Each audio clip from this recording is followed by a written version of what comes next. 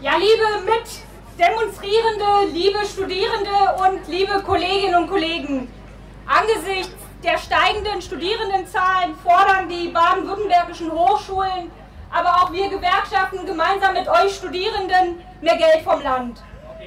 Andernfalls sehen sie Forschung, Lehre sowie letztendlich auch die Studienplätze gefährdet. Die Bildungsgewerkschaft GEW unterstützt diese Forderung.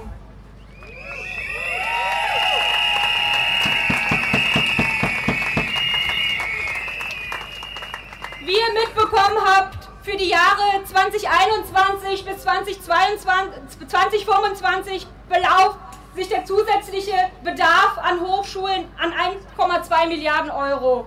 Und in den aktuellen Verhandlungen zum Hochschulfinanzierungsvertrag ist die Landesregierung noch nicht einmal dazu bereit, die Hälfte dieser Summe zur Verfügung zu stellen. Ich meine, was ein Skandal ist, liebe Studierende und Mitdemonstrierende.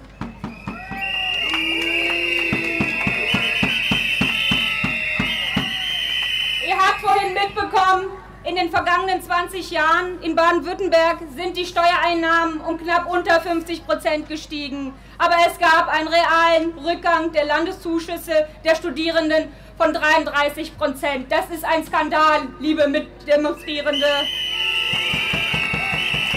Ihr habt auch alle mitbekommen, die Studierendenzahlen an den baden-württembergischen Hochschulen sind stetig gestiegen. Im Vergleich dazu im Wintersemester 2008, 9 knapp 26, knapp 260.000 Studierende, so sind wir momentan bei 360.000 Studierenden.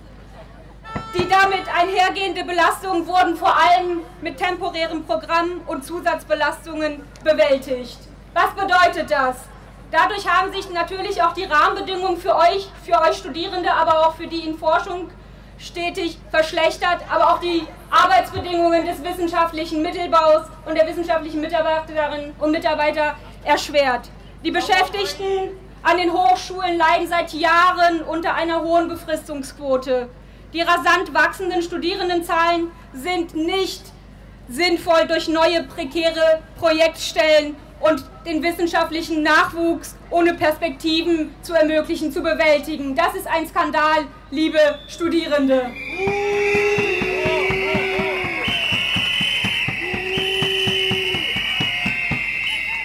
Studierende brauchen erfahrenes und dauerhaft an den Hochschulen tätiges Personal und junge Wissenschaftlerinnen und Wissenschaftler brauchen vertretbare Berufsperspektiven. Ihre Situation wird sich durch die momentane Verhandlung des Hochschulfinanzierungsvertrags nicht verbessern. Mit den Auswirkungen dieser Einsparpolitik sind auch Studierende und somit auch ihr konfrontiert eine katastrophale Betreuungsrelation zwischen Studierenden und Professorinnen, überfüllte Vorlesungen und Seminare, ausfallende Tutorien und letztendlich auch eine zu hohe Studienabbruchquote.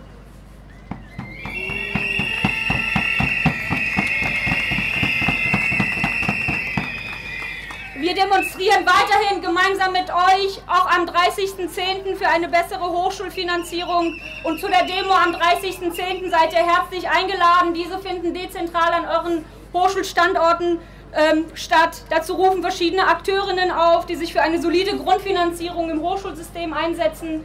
Und Bildung ist eine der wichtigsten Ressourcen von Wissensgesellschaft und gerade für den Wissensstandort Baden-Württemberg unerlässlich. Lasst uns gemeinsam weiterhin dafür kämpfen, dass unsere Hochschulen besser ausgestattet werden. Vielen Dank.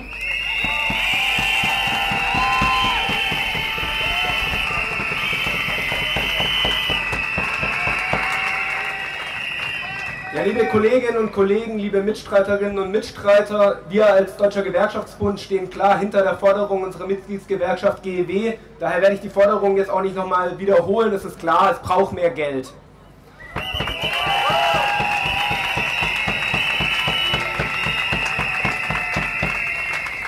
Warum wir als Gewerkschaftsbund heute hier mit dabei sind, hat auch damit zu tun, dass an der Uni verschiedenste Gruppen sind, die alle mit dem gleichen Problem der Unterfinanzierung zu kämpfen haben. Meine Kollegin hat gerade schon die Postdoc-Stellen angesprochen und die Prekarisierung im Mittelbau. Was allerdings im öffentlichen Fokus noch nicht den Platz hat, den es haben sollte, ist, dass zum Beispiel auch das Reinigungspersonal an der Uni immer mehr outgesourced wird und so Tarifflucht begangen wird.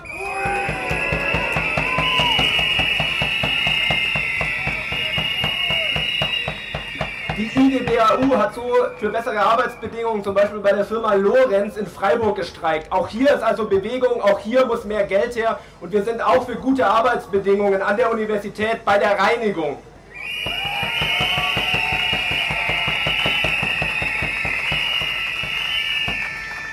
Was es heute also auch geht, ist sich nicht auseinanderdividieren zu lassen. Heute sind dreieinhalbtausend Menschen hier, das ist gut, aber wir sind noch viel mehr. Das nächste Mal muss auch das Reinigungspersonal noch stärker angesprochen werden. Wir müssen den Mittelbau hierher bekommen und wir müssen dafür sorgen, gemeinsam dazustehen und zu sagen, es ist egal, welche Tätigkeit wir an der Uni machen, welche Ausbildung wir haben. Die Universitäten müssen gut finanziert sein und gute Ausbildungsbedingungen und gute Arbeitsbedingungen sind für alle notwendig.